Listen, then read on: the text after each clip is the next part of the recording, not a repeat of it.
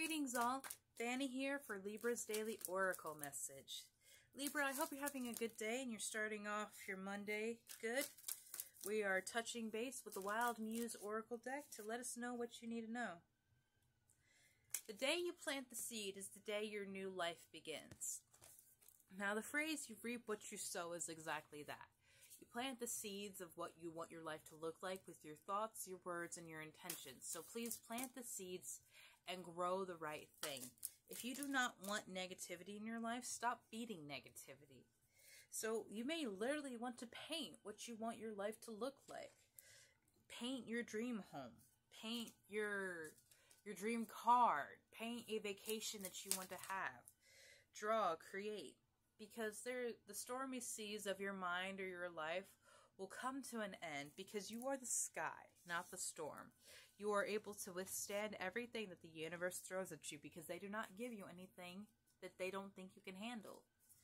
But free will is free will.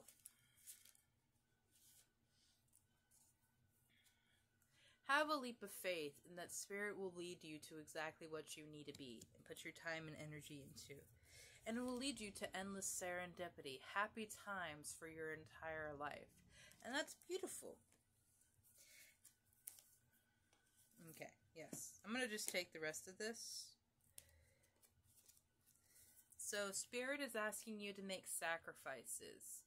Sacrifices of what? What?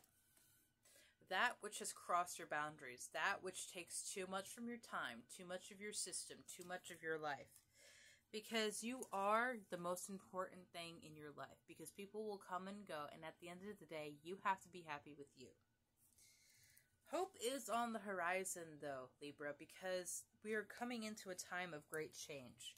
There are going to be upgrades to your system and you are going to think and do things differently than anything you have ever done.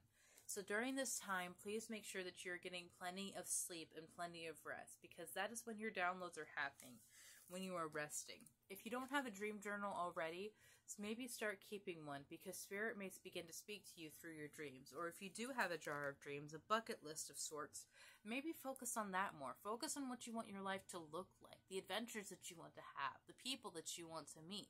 What do you want to do with your time and energy? What would it look like if you sold your book? What would it look like if you went on that road trip? What would it look like if you met that person? And be specific about it because this is your order to the universe and telling them what you want to have in your life. And they will do their best to co create it with you and bring it about into reality. Have a beautiful day, Libra. Remember all things in moderation. I don't really need to tell you that because you are literally balanced, but I felt like I needed to say it. Have a beautiful day, Libra.